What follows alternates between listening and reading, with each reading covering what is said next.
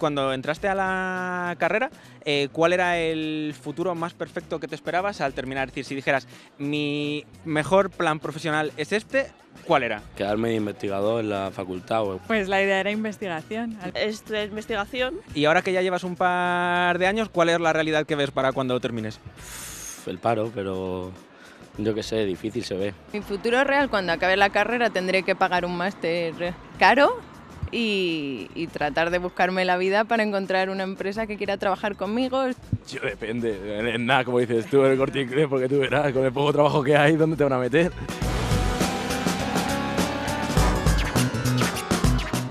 Se supone que en España eh, el alquiler tiene que suponer un 30% de- del sueldo. Si en un doctorado te pagan unos 900 euros, yo soy de letras, pero entre el 30% de 900 euros es una mierda. Eh, ¿Creéis que con eso se puede vivir en Madrid? No. Eh, no, porque además hay pisos en Madrid que ahora mismo te piden que una de las nóminas de las personas que vaya a vivir ahí triplique el alquiler. Que creo que no hay salario actual si el piso está a 800 euros mm, tirando de barato. ¿Existe algún sueldo en España que triplique el alquiler de un piso? Porque que, lo, que yo lo conozca, vamos, que pegó el braguetazo ahora mismo. no lo sé. La verdad que no. Puedes tener acceso a una vivienda digna si después no, no comes. Y no, y no viajas y no tal. Oye, Eh, pero pues- tenerlo todo, yo que, Pues que va a ser complicado. tampoco pasa nada, ¿no? Eliges no comer una temporada y... Además te viene bien adelgazas y tal. Operación bikini inducida. ¿Y os habéis planteado la opción o conocéis gente que haya pensado en irse al extranjero? Todos nosotros. Todo, todo aquel que se quiera dedicar a investigación posiblemente se vaya afuera. Sí, habría que irse fuera, eso sí que cabe recalcar que... Aquí en España no, me refiero, habría que irse fuera, hacer algún máster en Alemania, en algún sitio de eso, y para tener trabajo aquí algún día. O sea, el objetivo de tener una carrera aquí es poderte ir a formarte a otro sitio. Por desgracia, sí.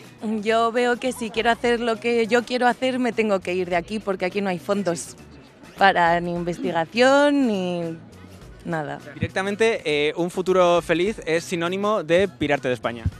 Sí, en, otros países tú te vas fuera a hacer un, un doctorado y resulta que tienes un salario de 2.500 euros y aquí haces un doctorado, no te aseguras que te quedes en el, en el puesto como tal, que te quedes en la universidad y te pagan la beca del Estado 1.000 euros al mes. El, antes han nombrado la investigación, el colectivo de Ciencia con, con Futuro, que es un colectivo de profesionales de científicos, decía que 7 de cada 10 investigadores en España se han planteado dejarlo.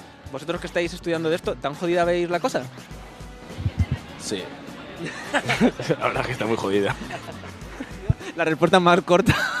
Pero no ha pensado, ¿sabes? Eh, la- Es justo lo que veníamos hablando, claro que sí. o sea, es, No, es totalmente todo- lógico. Una persona, por ejemplo, si tú tienes ya tu veintipico y yo qué sé, un ejemplo, alguien quiere ya asentarse un poco, formar una familia y tal, pues... Perdón, has dicho eh, asentarse y formar una familia con 20 y pico, pero tú dónde te crees que sí, estás, sí, con chaval? 20 y pico, con 20 y mucho. Yo tengo 23 ya, o sea que tampoco te queda hacer. Sobre la investigación no, tienes una gran, gran vocación que dejes un poco a lado el sueldo y tus planes en la vida porque realmente estás enamorado de la investigación y te encanta. Porque quiero decir, es un poco sacrificado. ¿Qué, qué- qué novio más exigente la, la investigación. Un poco, un poco. O sea,